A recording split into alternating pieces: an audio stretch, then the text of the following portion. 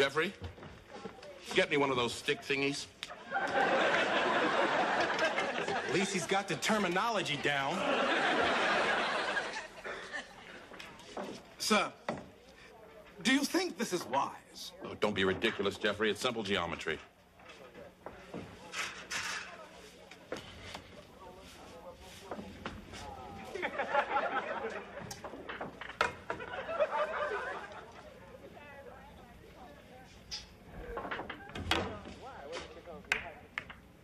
Oops. Well, that, that was just a practice shot.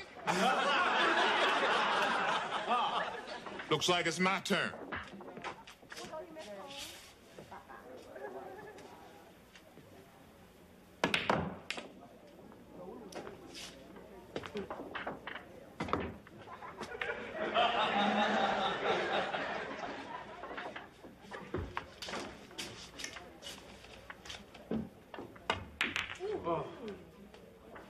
Now you owe me $400.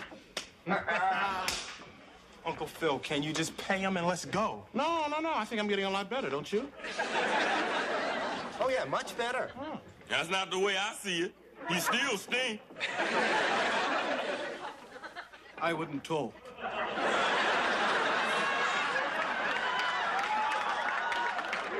Wait a minute, wait a minute. Uh, let's play another game. I mean, I, I want another chance. Let's play another game. Uncle Phil! I don't know. You know, my time is very valuable. I couldn't possibly play another game without upping the ante. How much? Let's say a nice round figure like $100 a ball.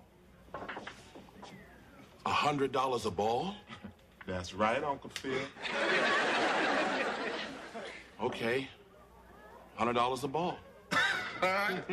You got yourself a game. Jeffrey? Break out, Lucille.